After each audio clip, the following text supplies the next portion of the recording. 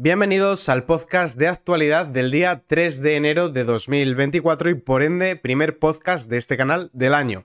Hoy tenemos que ver noticias de actualidad tanto de la política española, nos centraremos un poquito en Radio Televisión Española que últimamente le ha dado por blanquear cosas que no hay que blanquear, hablaremos también de economía y cómo hacen triquiñuelas porque curiosamente nos han dicho que baja el número de parados, mientras que más personas que piden la prestación de desempleo. Son los trucos de magia del Partido Socialista Obrero Español, que les ha dado este 2024 por ser magos. Hablaremos también de la famosa piñata, que por cierto en Lince Tuve Política Noticias, mi canal principal, hice un vídeo al respecto porque el PSOE ha amenazado con emplear la fiscalía contra los ciudadanos. También Pachi López ha dicho de atajar de raíz las críticas al PSOE, porque no se puede criticar al PSOE por lo visto. A los demás partidos sí, al PSOE no. Tenemos que hablar de la respuesta que ha dado Abascal, de un vídeo que demuestra la hipocresía, porque ellos han quemado toda suerte de piñatas, las han colgado boca abajo, les han hecho de todo, y entonces nadie se rasgó las vestiduras. Hablaremos también de política internacional, con un par de noticias, una sobre Irán y otra sobre cómo se han cerrado los fondos europeos. Así que vamos a empezar, precisamente con lo de la famosa piñata que la están utilizando para tapar otras noticias para desviar la atención y mantenernos entretenidos. Ya lo hicieron también con el carpetazo de Ortega Smith a una botella, también con el pico de Rubiales. Son expertos en este tipo de cortinas de humo. Abascal carga contra el doble rasero de la izquierda en la condena de la violencia. Ya está bien. El líder de Vox manifiesta su hartazgo con quienes amnistían violencia real y con quienes aceptan esas reglas del juego trucadas, escribe Natalia Cristóbal para El Debate. Santiago Abascal se ha mostrado contundente en redes sociales a la hora de denunciar el doble rasero de la izquierda, a la hora de condenar la violencia, después de que el PSOE y Sumar se hayan lanzado en tromba a denunciar como delito de odio lo ocurrido con la piñata con la figura de Pedro Sánchez en Ferraz durante Nochevieja. No vi que saliese el PSOE a condenar la pedrada que se llevó Rocío de Mer cuando Cecilio G, el amigote de Colau, atacó la carpa de Vox en Cataluña. Tampoco cuando le metieron un puñetazo a Rajoy.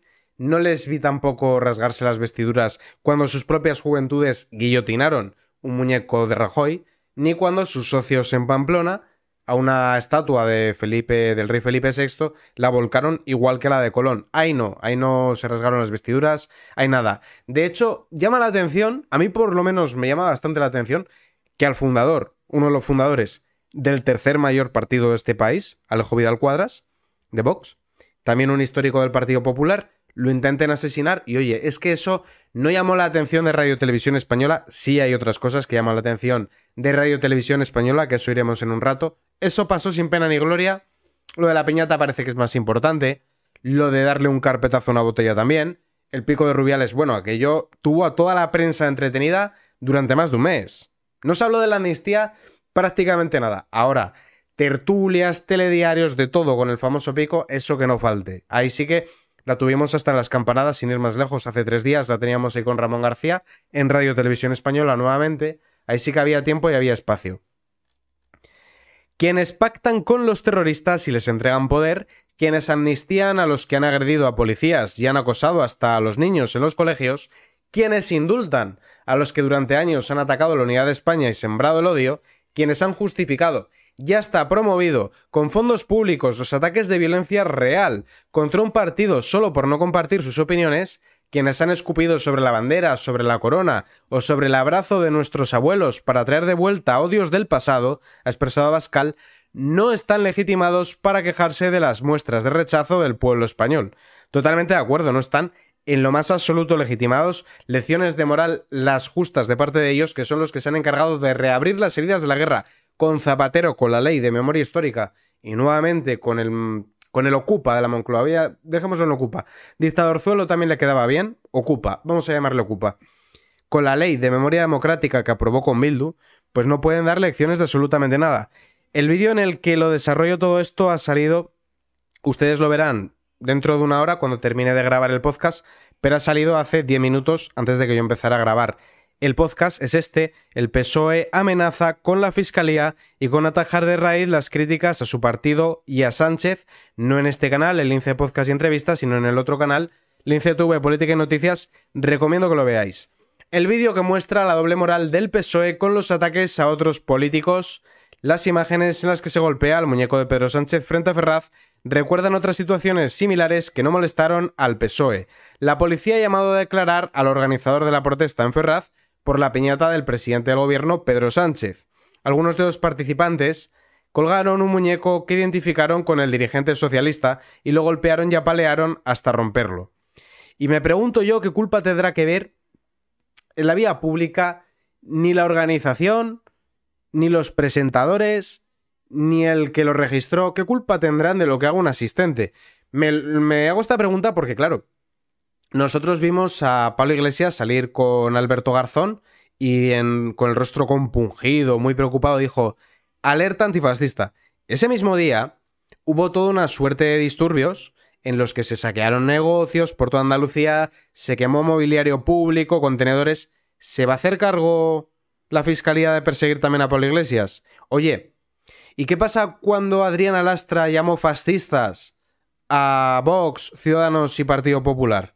¿Se va a hacer cargo de cualquier ataque, cualquier agravio contra la sede de uno de estos partidos Adriana Lastra? Y por supuesto, en lo que todo el mundo está pensando. ¿Se van a hacer cargo Esquerra Republicana y Junts de todo lo que han hecho los CDRs? No, a la vista de que a los propios CDRs los van a amnistiar, con más razón, a los dirigentes de estos partidos no les van a pedir ningún tipo de explicación. Y ahí sí que se vivió desde terrorismo callejero, scratches, varios policías acabaron lesionados, algunos de, ellos, por cierto, los tuvieron que, que jubilar anticipadamente por la gravedad de las lesiones y ahí nadie va a pedir explicaciones de ningún tipo. Son los socios de Sánchez. Es entendible que a sus amigos no les vaya a faltar de nada. El mismo PSOE que acaba de decir que no le parece mal a nivel penal que se quemen fotos del rey o de la bandera de España, se muestra indignado por una piñata con la cara de Pedro Sánchez. Y es que no es la primera vez que vemos imágenes como esta en la que, por medio de muñecos, se ridiculizan las figuras de nuestros líderes. Por señalar algún ejemplo, en el municipio de Ripollet golpearon con un bate a Isabel Díaz Ayuso y a Santiago Abascal. Sin salir de Cataluña, una mañana aparecieron colgados muñecos de líderes políticos en un puente de Lérida. Además, en la diada quemaron fotos de Alberto Núñez Feijo, Sánchez y el Rey, y frente al Palacio de Navarra decapitaron a Felipe VI y a Cristóbal Colón. Pero eso no es delito de odio, amigos. Delito de odio si te metes con alguien de izquierdas. En realidad no. Delito de odio es si tú vas contra un colectivo vulnerable. Por ejemplo, las víctimas de ETA, como por ejemplo los discapacitados, no Sánchez. Sánchez no es alguien en riesgo de exclusión, ni vulnerable, ni nada parecido. Sánchez es un megalómano, un mitómano que se ha trincherado en el poder. Continuando con otras noticias, Abascal retrata a Sánchez, quien amnistía la violencia real se queja de las violencias imaginarias. Santiago Abascal ha retratado a Sánchez y al PSOE respecto a las quejas por la piñata del presidente del gobierno que exhibieron los manifestantes de Ferraz en Nochevieja, y es que los socialistas han puesto el grito en el cielo por el uso de este muñeco, pese a haber amnistiado casos de violencia real y haber votado a favor de acabar con el delito de injurias a la corona que incluye la quema de fotos y figuras de los monarcas, escribe Paula Benito para OK Diario. Desconcierto en el Congreso porque Armengol sigue sin fijar el debate de la amnistía. En pleno, el pleno del día 10 solo consta que irá del techo del gasto y la convalidación del Real Decreto de Justicia. Que lo del techo del gasto también es un motivo bastante preocupante. Tenemos un gobierno que gasta como si no hubiese un mañana, por encima de los ingresos. Tenemos un gobierno que tiene que andar cada dos por tres arrastrándose en Bruselas para que nos adelanten dinero, un dinero que no todo es a, a fondo vencido ni interés cero. Parte de ese dinero es con intereses que hay que devolver en un futuro, no solo el dinero que nos prestan, también los intereses de esa deuda. Gastan como si no hubiese un futuro y ahora pretenden elevar todavía más el techo al punto de que lo han elevado por encima de una cuarta parte del PIB. Yo no he conocido nunca algo parecido y además de forma totalmente impune. España es el país que desde la pandemia de la zona euro más se ha endeudado y nadie le pide explicaciones. La gente dice, tampoco estamos tan mal. Claro, si tú estás, venga a pedir créditos y créditos y créditos que luego hay que devolver para tapar los desmanes del daño que están haciendo a la economía, lógico que todavía no veamos las consecuencias de los actos de Pedro Sánchez, pero llegarán, las consecuencias llegarán. La presidenta del Congreso, Francina Armengol, yo prefiero llamarla Madame Armengol por eso de que luego ocultaban por ahí lo que hacían en los centros tutelados con las menores y luego en el Congreso bloquean la comisión de investigación y estas cositas. Todavía no ha comunicado a la mesa del Congreso si en el pleno que está previsto celebrar en el Senado por las obras en el hemiciclo de la Cámara Baja el día 10 incorporará como punto del orden del día el debate de las enmiendas a la totalidad de la ley de amnistía. A día de hoy solo ha informado que los temas a tratar serán el techo del gasto y la convalidación del Real Decreto sobre modernización digital de la justicia que fue aprobado en el Consejo de Ministros del día 12 de diciembre de 2023. Qué curioso, qué curioso. Han cambiado Podemos por sumar, pero la fea costumbre de aprobar todo por reales decretos y pasar por encima del legislativo como que no la pierden. Sánchez, que ya sabéis que es el líder de los decretazos. Porque no solo no respeta al Poder Judicial, tampoco respeta al legislativo y al ejecutivo lo respeta porque es él, que si no tampoco. Porque Pedro Sánchez se considera que está por encima de todo. Del bien, del mal, está por encima de absolutamente cualquier cosa que le pongas por delante. El imperio de la ley, el interés general, la voluntad del pueblo, todo eso le da igual. A Sánchez le preocupa a Sánchez porque se considera un fin en sí mismo. Lo importante es que él esté en el poder, acomode el lugar y punto. Fuentes consultadas para The Objective apuntan que hasta que el gobierno no dé el visto bueno, la presidenta no lo comunicará y ponen de manifiesto el desconcierto que está provocando este mutismo de Armengol. A mí no me causa ninguna sorpresa porque los del PSOE son unos trileros expertos en este tipo de cuestiones. Lo mismo te dirán que la amnistía es inconstitucional, que la amnistía es urgente y hay que aprobarla ya, porque claro, tenían que contentar a Junts y a Esquerra para que le den el visto bueno en la sesión de investidura. Luego ya, como ya tienen el sí, ya podemos aplazarlo, centrarnos en otras cosas. Son expertos en este tipo de cuestiones. Este mes de enero es el momento clave para la segunda fase de la proposición de ley de la amnistía que presentó el PSOE. Este miércoles finaliza el plazo para presentar enmiendas a la totalidad el Grupo Parlamentario Popular presentará la suya y Vox con casi total seguridad. De hecho, en una actualización posterior, esta nota es de The Objective, poco después salió esta nota de la Gaceta, que por esto la he traído, para corregir o ampliar, si lo preferís, la información de Objective. Vox sí que ha registrado una enmienda a la totalidad contra la amnistía, que es lo que veremos después de, este artículo de Objective. Eh, los populares han estado trabajando en el texto que tendrá como base los argumentos que justifican su rechazo por inconstitucional. Estas enmiendas serán debatidas en el pleno previsto para el próximo día 10, tras declararse hábil el mes de enero. Y ahora continuamos, después de ver la postura del PP, con eh, Santiago Abascal. Vox registra una enmienda a la totalidad contra la amnistía y propone castigar a quienes negocien con fugados de la justicia cosa que de hecho no haría falta castigar porque si nos remitimos al Código Penal, en el artículo 408 son muy claros al respecto. En el artículo 408 de nuestro Código Penal nos dicen la autoridad o funcionario que, faltando la obligación de su cargo, dejar intencionadamente de promover la persecución de los delitos de que tenga noticia o de sus responsables, incurrirá en la pena de inhabilitación especial para empleo o cargo público por tiempo de seis meses a dos años. Entonces, entendemos que no está promoviendo la persecución de delitos al reunirse con un fugado y no detenerlo. Entendemos, ¿no? No solo no detenerlo, sino que además te pones a pactar con él, a amnistiarlo, a indultarlo, muchísimo más grave todo. Vamos a ver el, el cuerpo de la nota de la Gaceta. El grupo parlamentario Vox ha registrado este miércoles una enmienda de totalidad contra la ley de amnistía en la que propone la creación de un nuevo tipo delictivo para castigar a quienes negocien con condenados procesados o sustraídos de la acción de la justicia por delitos contra la Constitución, el orden público, de traición, etc. El texto registrado propone que estos delitos sean castigados con penas que van de los 6 a los 10 años de prisión, además de una inhabilitación especial para empleo o cargo público también de 6 a 10 años. En un comunicado, Vox ha recordado que advirtió en numerosas ocasiones de los peligros de poner la gobernabilidad de España al servicio de quienes pretenden romper la unidad de la nación y que, ya propuso reformar el Código Penal para incrementar las penas relacionadas con el referéndum ilegal que atenten contra la unidad y la integridad nacional. Asimismo, propone un, un endurecimiento penal en los casos de ultrajes a España y sus símbolos y de los delitos de traición por parte de los miembros del gobierno. Vox aboga también por recuperar el tipo penal de sedición y la pérdida de la nacionalidad para los delincuentes cuyo origen no sea español, cosa que por cierto se puede hacer, porque hay gente que dice, es inconstitucional retirar la nacionalidad.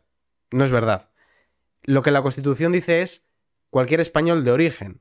Si a ti te han concedido la nacionalidad, que es un privilegio que lleva aparejadas una serie de obligaciones, y tú no cumples con tus obligaciones, a ti te pueden retirar la nacionalidad y no solo eso, es que hay antecedentes. Incluso en, derecho comparado con otros países, donde por cierto es bastante más complicado obtener la nacionalidad, te la pueden retirar y por supuesto deportarte y, echarte del país porque eres una persona que rompe la convivencia pacífica de, de ese país en cuestión. El grupo parlamentario exige la prohibición explícita de los referéndums sobre la integridad territorial, cosa que de hecho es que no haría falta prohibirlo porque hablar de la Constitución a estas alturas de la película, pues es un poco ridículo, porque Sánchez se la salta como le da la gana. Pero la, la Constitución es clara. El referéndum es de ámbito nacional. No puede convocar un referéndum en Cataluña.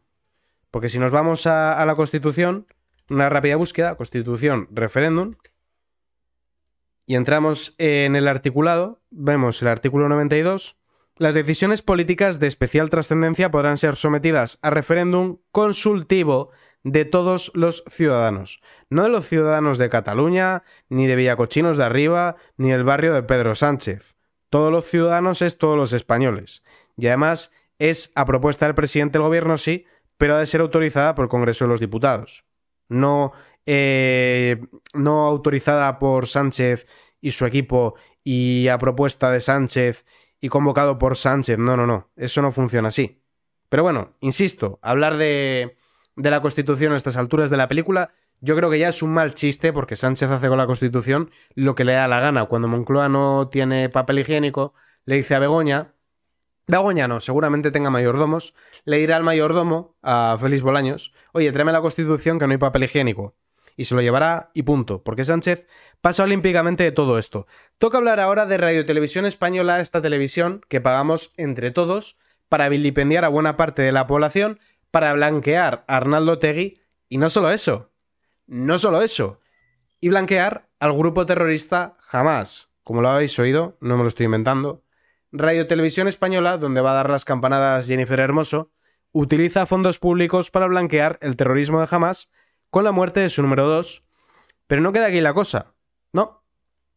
Televisión Española equipara a Mercedes Mila con Hernán Cortés o Cervantes en un programa para elegir el mejor español de la historia. Bueno, bastante que. Bueno, también está por ahí Felipe González. Pero bastante que no hayan puesto a elegir entre Pedro Sánchez y Sánchez Pedro. Porque eso ha sido lo raro. Yo lo, lo que me he sorprendido es que no hayan dicho quién prefieres. ¿Pedro Sánchez o Sánchez Pedro? O Antonio, Antonio Sánchez.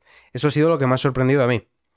El enviado especial de Radio Televisión Española se traslada hasta la residencia del terrorista Al-Arouri para contar el día de luto tras ser eliminado por Israel las instituciones manejadas por el gobierno de Pedro Sánchez siguen la línea gubernamental de blanqueo del terrorismo. Esta vez ha sido a raíz de la eliminación por parte de Israel del número 2 de los terroristas de Hamas, Saleh al-Arouri. No me extraña que le parezca mal, porque en España a los terroristas les hacemos diputados. ¿No? O portavoces de partidos. Lo digo por eso de llevar a siete condenados con delitos de sangre en listas de Bildu y 44 en total, que eso, pues bueno, en cualquier país sería un escándalo de primer orden, ameritaría la ilegalización de ese partido, pero aquí en España es otra más. Un hecho que ha servido a Radio Televisión Española para contar el día de luto que se está viviendo en la casa familiar del número 2 de los terroristas palestinos y uno de los comandantes de la rama armada, las brigadas al-Qassam. La repugnante pieza periodística la firma un reportero llamado Fran Sevilla, un furibundo antisemita que desde la matanza contra civiles, niños y familias israelíes perpetrada por los terroristas de Hamas en octubre, se dedica a denigrar la democracia israelí, alentar el odio hacia el pueblo judío y enaltecer a los asesinos islamistas, labor miserable por la que la televisión pública le paga un salario. Cuando en este tipo de conflictos deberían de intentar informar de la forma más objetiva posible, comportarse de manera imparcial pero aquí no.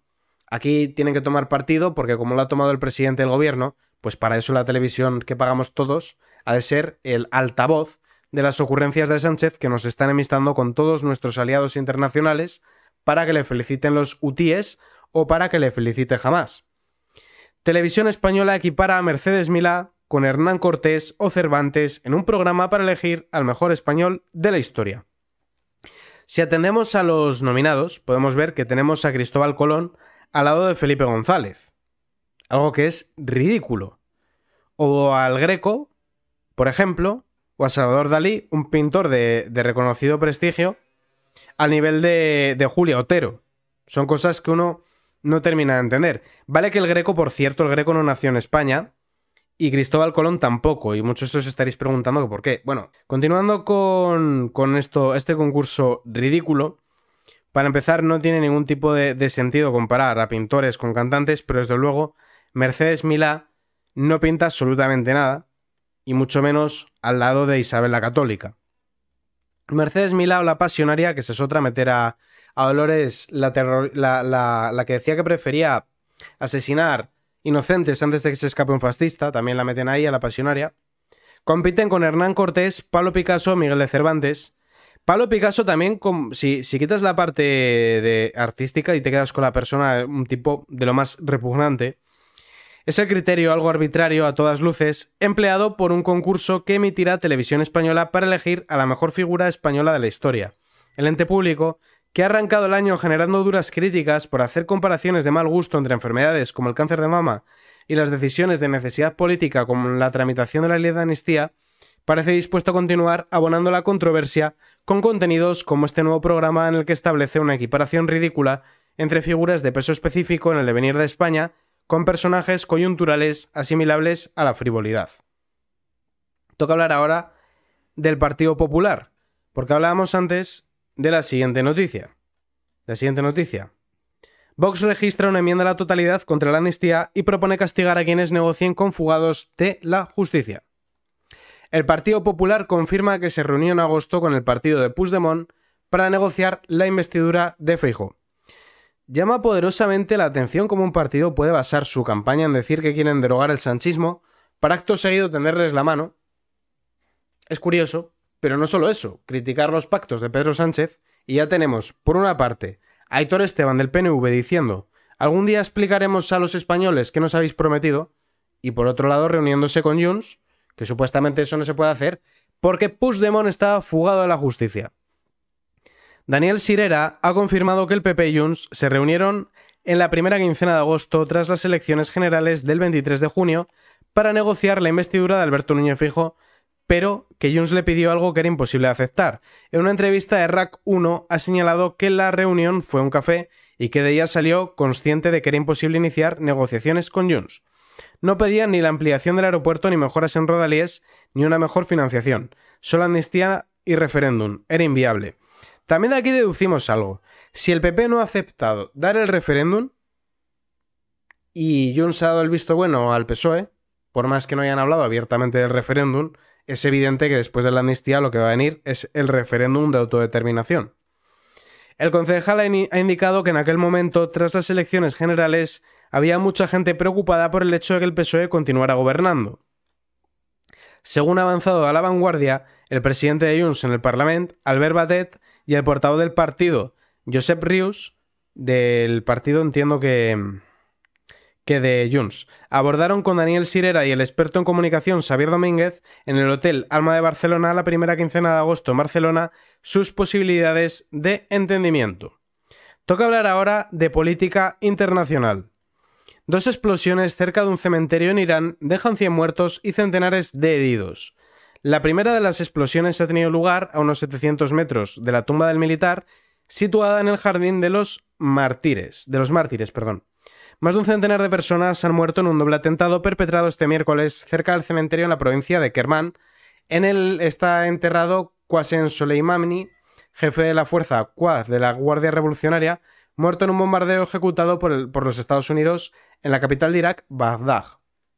El Departamento de Emergencias de Kerman ha indicado que hasta el momento se han confirmado 103 muertos y 141 heridos, si bien se teme que la cifra de las víctimas puede aumentar en las próximas horas.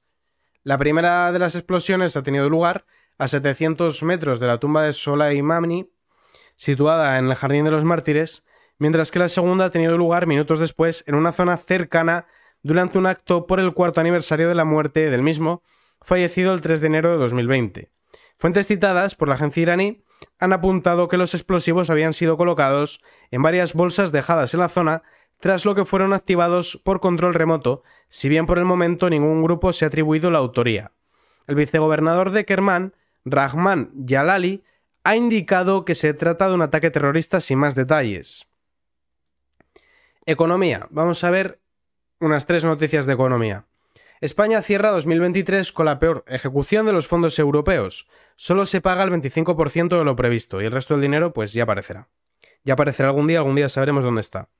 Escribe Fernando Cano para The Objective. La ejecución de los fondos europeos sigue siendo uno de los grandes problemas de la administración económica del gobierno. Los últimos datos publicados por la Intervención General de la Administración del Estado y cribados por The Objective indican que hasta el mes de noviembre se realizaron pagos por 8.798 millones de euros en el marco del mecanismo de recuperación. Las fuentes consultadas por este diario indican que en diciembre tampoco se ha producido un elevado nivel de ejecución. Lo curioso es que no le han remitido los pliegos eh, a la Unión Europea en la, fecha acordada, que era el día 15 de octubre, no lo entregaron, lo, aquí está, en esto lo hemos gastado. Luego se supo que buena parte de ello fue a parar a administraciones públicas en lugar de empresas afectadas. No solo eso, nos enteramos también de que faltaba dinero o alguno estaba mal justificado, que parte de, esos fondos han ido a parar mayoritariamente a administraciones públicas en regiones donde gobierna el PSOE, marginando otras regiones. Eso es lo que hemos ido sabiendo hasta ahora. Con lo cual, pues es bastante llamativo por parte de un partido que dice que lucha contra la corrupción. Lo que también sabemos es que una de las empresas que se emplearon para entregar los fondos fue la del marido de Nadia Calviño, que entonces era ministra de Economía, y se supo también que esa empresa no podía hacerlo porque tenía un pufo con Hacienda. La manipulación de Yolanda Díaz en los datos de empleo al descubierto. Escribe Luis Quintero para eh, Libre Mercado. Desde el departamento de Yolanda Díaz se han felicitado de los datos de empleo conocidos este miércoles relativos al mes de diciembre de 2023. Según dicen, el paro había caído 130.000 personas, lo que sería el menor nivel de paro en 16 años. Recordad que hay un millón de parados que no los computan porque los tienen o fijos discontinuos o haciendo cursos de formación. Sin embargo, las estadísticas de empleo son indescifrables, porque el sindicato independiente Uso emite un informe en el que trata de arrojar algo de verosimilitud al estado real de nuestro mercado laboral, tratando de llamar a cada cosa por su nombre. En una aproximación más verosímil, el paro que en realidad presenta nuestro país sería de 3.215.000, si incluimos a los parados en cursos de formación y a los parados que buscan trabajo en condiciones especiales. Y por último encontramos dos datos tremendos. Por un lado, parados deliberadamente ocultados por Yolanda Díaz, fijos discontinuos en inactividad que no figuran. Y hablamos de un dato que se estima en 650.000 personas, que habría que sumar a los más de 3 millones de parados. Además, el número de contratos de trabajo durante 2023 arroja otro dato inquietante. El número de contratos cae un 15%. Pero yo os comenté otro detalle, hay más personas demandando el, el, desempleo. Recordad lo que nos ha dicho Yolanda Díaz. Yolanda Díaz lo que nos ha dicho es que tenemos el mejor dato de desempleo de los últimos 16 años. Y hemos visto que ha ocultado, por un lado, 650.000 y por otro lado, un millón. Si sumamos los dos, vamos a sumar, sí, los fijos discontinuos porque a fin de cuentas no trabajan todo el año. Hablaríamos de que en torno a 1.650.000 estarían ocultando. Bien. Pues con eso en mente que os acabo de decir, Quiero que veáis esto. La magia del sanchismo. Baja el paro, pero suben los españoles que cobran la prestación de desempleo. Benjamín Santamaría para OK Diario. El gobierno de Pedro Sánchez ha sido capaz de crear la paradoja de reducir el número de parados a la vez que aumenta la cantidad de beneficiarios por la prestación de desempleo, el paro descendió en 130.000 personas en 2023, mientras que los españoles que cobran una ayuda aumentaron 24.325 en comparación con el año anterior. Así que por un lado tenemos que con la reforma laboral pasa a tener buena parte de la gente un contrato fijo discontinuo, con lo cual no trabajan todo el año. Por otro lado tenemos un millón ocultados en los cursos de formación. Y por otro lado, que aumenta en 25.000 el número de personas que piden la prestación de desempleo. Y ojo, porque aquí hay que quitar a aquellas personas que ya no pueden percibir la prestación de desempleo porque ya la han agotado y tienen que, y tienen que pasar a cobrar el ingreso mínimo vital. Con lo cual, aquí se están riendo de nosotros. No hace sino subir el desempleo, no hace sino aumentar el número de personas que pierden su oficio, también aumenta por la tendencia poblacional el número de personas que se, que se tienen que jubilar y pasan a depender de una pensión también aumenta el número de empleados públicos porque Sánchez cada vez que tiene que maquillar las cifras de paro aumenta la oferta de empleo público y pide deuda, que ya lo pagará el que venga detrás para pagarles la nómina, Con lo cual la realidad que tenemos aquí es que están destrozando la economía, pero lo están maquillando en base a endeudarnos, que en un futuro habrá que pagar la deuda con todos los intereses. Uno de los motivos de la disparidad es la cantidad de fijos discontinuos que cobran ayudas. Sin embargo, el ministerio que dirige Yolanda Díaz no ofrece el dato de la cantidad de contratos que se encuentran en esta situación. Hay quienes estiman que sería 1.206.599 y a los que habría que sumar los fijos discontinuos. Con lo cual, entendemos, entendemos que la realidad que tenemos en este país es que no nos están dando los datos porque no interesa que se sepa la realidad. Si te dicen, no, tenemos un millón de personas haciendo cursos de formación, tenemos 650.000 haciendo eh, contratos fijos discontinuos, ¿qué va a pasar? Que se va a echar la gente encima, que van a exigir que reduzcan el gasto público y bajen los impuestos para ver si por ahí las empresas empiezan a contratar o hay más emprendimiento, que buscarían volver a, la reforma laboral previa para ver si así se contrata más. Y como eso sería un fracaso y supondría un desgaste para Pedro Sánchez, no te lo van a reconocer y nos van a tener engañados. Así que nada, con esta noticia de economía acabamos el podcast de hoy, día 3 de enero, y feliz año a todos y muchísimas gracias por verme.